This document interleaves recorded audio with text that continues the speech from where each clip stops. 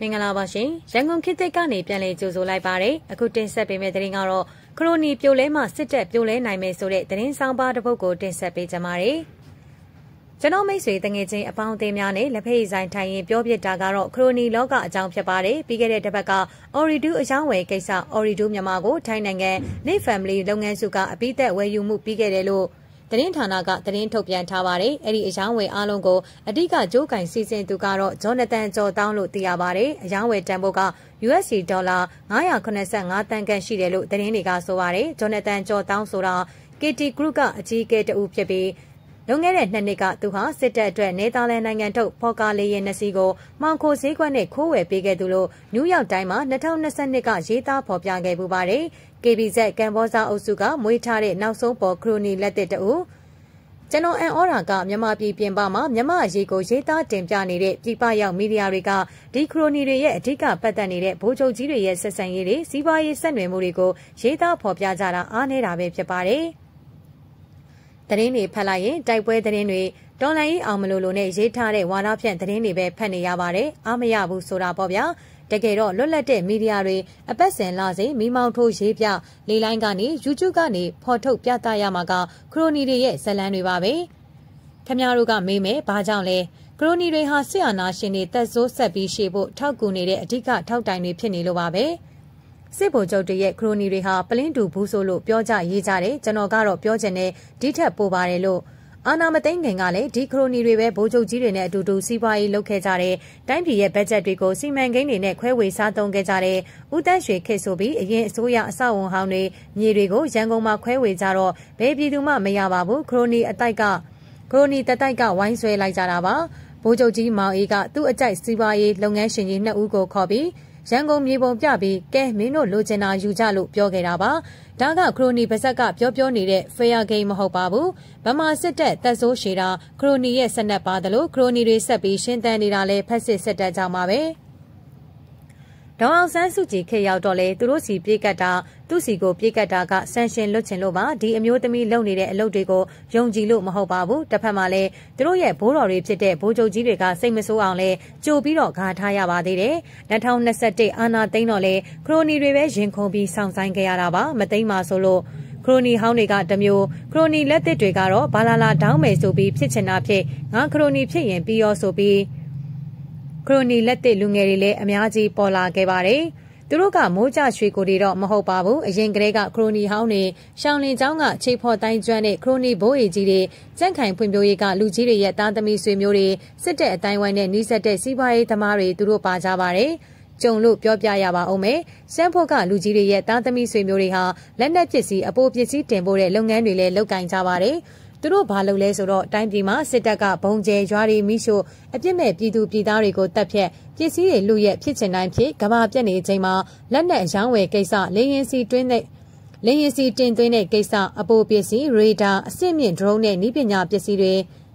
အပြင်စစ်ကောင်စီဆန့်ရှင်ကြောင့်လက်လန်းမမီတဲ့တဲယူပို့ဆောင်ရေးလေရင်တွေကိုပါဝယ်ယူပေးပြီးနေချင်းညချင်းမီလီယံနာတွေဖြစ်ကုန်ကြပါတယ်ဒီပတ်စံတွေကိုဆရာတော်တွေစီလူရွာတွေမှာပြန်ပြီးကြောင်းဆောက်ဖျားတဲ့ရေပင်တူးပေးပြီးတော့သူတို့တွေဟာနေချင်းညချင်းဖျားတကားကြောင်းတကားအလွန်ကုသိုလ်ထူးတဲ့ရှေးဘဝကကုသိုလ်ကံကောင်းခဲ့သူတွေဖြစ်ပြန်ရောကြံတဲ့တန်း60လောက်ကတော့အတိတ်ကုသိုလ်ကံမကောင်းတာနှစ်ပေါင်း40 50ရှိပါပြီ။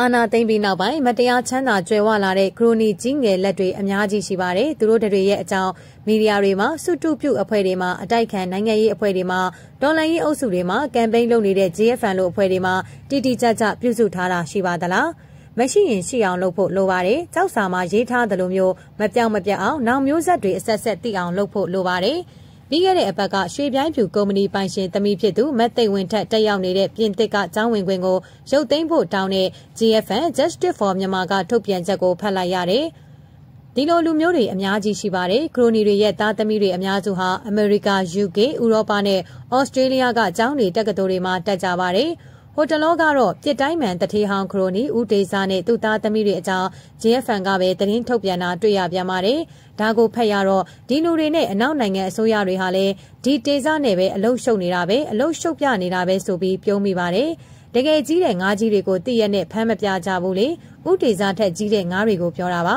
။ကျွန်တော်တို့ခရိုနီတွေပဲတိုင်းပြည်ကိုဖျက်ဆီးခဲ့တာပါဗျာ။ အရက်မှုတော့ကျဲခိုးပေါ်တန်မိုးကြီးဝီစကီတစ်လုံးကုန်ချိန်မှာကိုဖော့ပညာကျွမ်းသောခရိုနီတဦးရဲ့ရင်ဖွင့်စကားပါသူကအချမ်းသာဆုံးစည်ရင်ထဲမှာပါသူပါ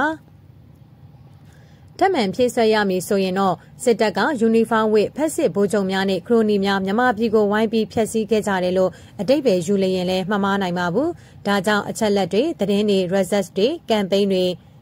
ရှိန်မင်းလောက်တာတွေအနောက်နိုင်ငံကဆန်ရှင်ဆိုတာအရေးမကြီးကိုယ့်ဘာသာလုံနိုင်ကြဖို့လိုပါတယ်။ ဥပမာအားဖြင့်နဝတနာအဖခိတ်ကလေးကနာမည်တစ်လုံးနဲ့နေခဲ့သောရန်ကုန်ကတတိခရိုနီကြီးသူ့ရဲ့သမီးတွေကဒီနေ့ခေတ်စစ်ကောင်စီရဲ့ဗိုလ်ချုပ်တွေကြော်တွေမိသားစုတွေအတွက်ထိုင်းမှာအင်ချမ်းမြေဝယ်ယူရေးတခြားတန်ဖိုးကြီးပစ္စည်းတွေဝယ်ယူတင်သွင်းရေးတွေအတွက်ဘန်ကောက်မှာထိုင်ပြီးအလုပ်လုပ်ပေးနေတယ်။မင်းအောင်လိုင်းအောင်လင်းတွေညိုစောကျူကျူလာအားလုံးအားလုံးရဲ့ဘန်ကောက်ကလုပ်ငန်းတွေကိုကိုယ်စနေလုပ်ပေးနေတဲ့သူတွေရှိတယ်။ဒီကမီဒီယာတွေနဲ့ Justice for Myanmar ကမှွေနောက်ဖို့လိုနေတယ်။နာမည်နဲ့တကွဖော်ထုတ်ဖို့လိုတယ်။ဒီလိုလုပ်ငန်းတွေအတွက်ငွေလိုလျင်ဝိုင်းပြီးစုဆောင်းပေးတဲ့နဲ့ဘာကြောင့်လဲဆိုတော့ဖက်စစ်ဗမာစစ်တပ်တပ်ဆိုးရှည်တာခရိုနီရဲ့ဆက်နက်ပါတယ်လို့ခရိုနီတွေဆက်ပြီးအသက်ရှင်နေတာလဲဖက်စစ်စစ်တပ်ကြောင့်ပါပဲအတိုက်ခံတွေကစစ်ရေးတရင်တွေတောင်ကုန်းသိန်းတရင်တွေလက်နက်ချအလံဖြူထောင်တရင်တွေနဲ့အလုံများနေကြတယ်ခရိုနီတွေကတော့စစ်ဗိုလ်ချုပ်တွေနဲ့စီးပွားရှာရင်စစ်အာဏာရှင်စနစ်ရှင်တန်ရေးကိုနေ့စဉ်ရက်ဆက်အလုံများစ조사ပေးနေတယ်သူပြိုလို့မရဘူးလေ စစ်တပ်ပြိုရင်သူလဲ6ပေချင်းနဲ့ဆင်ရမှာကိုအတိုက်ခံတွေကနည်းနည်းနှုံနေဒါကိုမသိဘူးတကယ်တော့ခရိုနီပြိုရင်စစ်တပ်ပြိုမယ်စစ်တပ်ပြိုရင်ခရိုနီလိုက်ပြိုမယ်သူတို့ကိုမြေလံမှမြန်မှာပါဒါကိုသဘောပေါက်မှမြမပြည်ပို့ပြီးကောင်းလာမယ်တော်လန်ရေးလည်းအရှိန်ပိုရလာမယ်တောက်ပိုဆုံလာမယ်အောင်ပွဲဆိုတာနဲ့လည်းနီးလာနိုင်မယ်ထင်တာပဲ ဆက်လက်တင်ဆက်ပေးမယ့်သတင်းကတော့ဘူးသီးတောင်အမှတ်15စစ်စင်ရေးကုတ်ကဲမှုတပ်မဌာနချုပ်အပါအဝင်တပ်ရင်း9ခုမောင်တော်မှစစ်စခန်းဌာနချုပ်4ခုအပါအဝင်စစ်ကောင်စီတပ်စခန်းကြီး9ခုထပ်မံကိုအေအေကတိုက်ခိုက်သိမ်းပိုက်ရရှိတဲ့အကြောင်းကိုတင်ဆက်ပေးကြပါမယ်။ ရခိုင်ပြည်နယ်ဘူးသီးတောင်မြို့နယ်ရှိအမတ်15 စစ်စင်ရေးကုကဲမှုဌာနချုပ်အပါအဝင်တရင်ဌာနချုပ်5ခုမောင်တော်မြို့နယ်မှာစစ်စခန်းဌာနချုပ်4ခုအပါအဝင်စစ်ကောင်စီတပ်စခန်းကြီး9ခုထပ်မံကိုအေအေကတိုက်ခိုက်သိမ်းပိုက်နိုင်ခဲ့ကြောင်းယနေ့မနေ့ပိုင်းမှာအေအေကတရားဝင်သတင်းထုတ်ပြန်ကြေညာပါတယ်။ဘူးသီးတောင်မြို့နယ်ရှိစစ်ကောင်စီရဲ့တရင်စခန်းဌာနချုပ်တရင်နဲ့ဌာနချုပ်12ခုအနက်မှာအမတ်15 စစ်စင်ရေးကုကဲမှုဌာနချုပ်စကခ15လက်အောက်ခံတရင်များဖြစ်ကြတဲ့ဌာနချုပ်များဖြစ်ကြတဲ့